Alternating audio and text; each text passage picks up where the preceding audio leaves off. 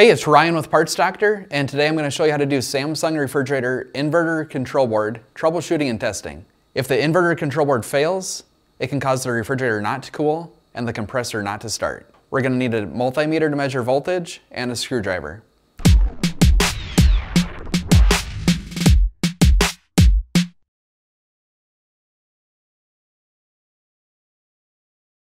The first thing that we'll need to do is put the refrigerator into a mode where the compressor should be running. On this refrigerator, we're going to put it into a forced function mode by pressing and holding these two buttons and then selecting the FF option from the menu.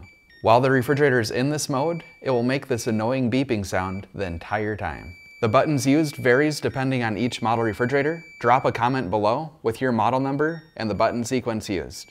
If the compressor does not start immediately, allow 5 to 10 minutes for it to start. Next, remove this cover by removing these four Phillips screws.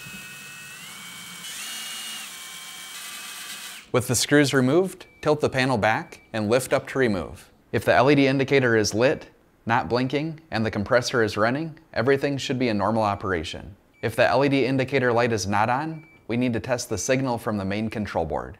The main control board outputs signal to the inverter control board, which tells the inverter control board to send power to the compressor to run. The location of the connector can vary depending on each model refrigerator.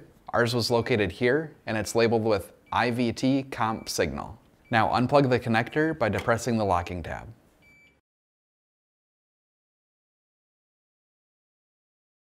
With your multimeter set to the DC voltage setting, place one probe on the ground pin and the other on the compressor signal pin. The pin locations can vary depending on each model refrigerator. Please reference the schematic for your fridge to make sure you have the correct pins. The signal in our refrigerator measured approximately 1.85 volts. This can vary depending on your refrigerator. If you don't get a signal from the main control board, the main control board is most likely bad. If the LED indicator is blinking, it indicates that there is a problem. Please count the number of blinks and reference this chart or the service information for your model refrigerator for more details. If you find that you have any bad parts on your refrigerator, you can check out our website, partsdoctor.com. We'll leave a link in the description below.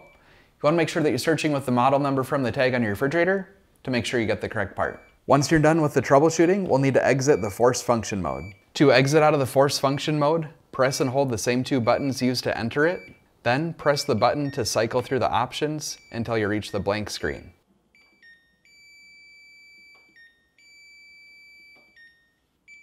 So that's it for this video. We hope you found it helpful. If you have any tips or tricks of your own, let us know in the comments below. And if you like fixing things, please consider subscribing.